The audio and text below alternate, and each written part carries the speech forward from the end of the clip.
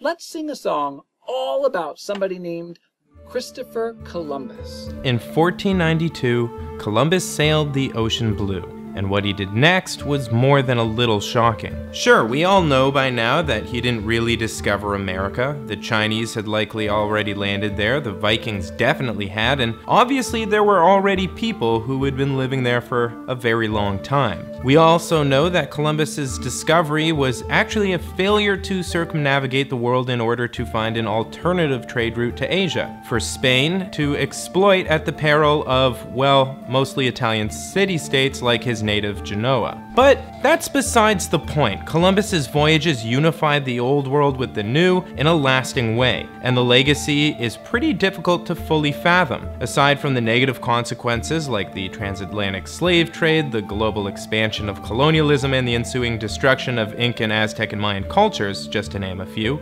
Europe's late medieval discovery of the Americas eventually led to the global export of American crops like corn, peppers, tomatoes, and potatoes, the spread of Western ideas about religion, philosophy, science, and mathematics, and the founding of dozens of immigrant-rich, multicultural countries including the United States, the land of the free sample and home of the Atlanta Braves. So, isn't that enough?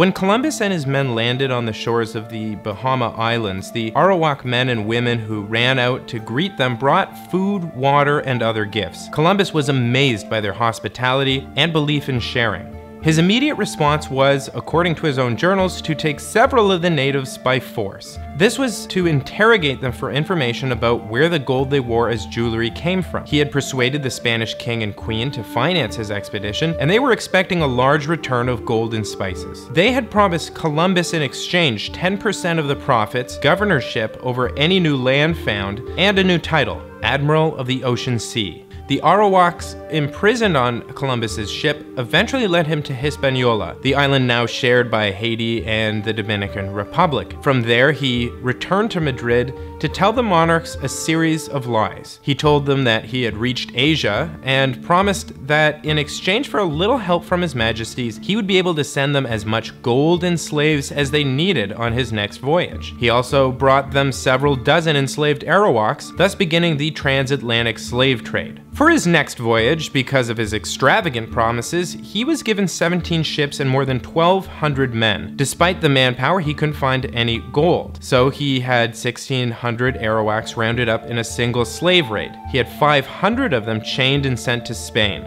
200 of those died en route. And that was too many deaths for Columbus because it made the venture unprofitable. So Columbus turned his focus back to gold. He relocated to an area he believed rich in gold and demanded that each native over 14 years of age pay him a tribute of a particular amount of gold every three months. Those who failed to round up the specified amount had their hands chopped off and bled to death. In reality, the natives of the area had been given an impossible task. The only gold around were modest dust fleck deposits in rivers, so they fled, were hunted down by dogs and killed. Arawaks who tried to put up a resistance were easily killed by the superior weapons of the Spaniards. When Columbus took captives, he hanged them or burned them to death. He and his men, of course, raped the local women en masse. The Arawaks began to commit suicide and kill babies to save them from the Spaniards. In two years, half of the original inhabitants were dead. The population continued to decline rapidly for decades until there was not a single Arawak left.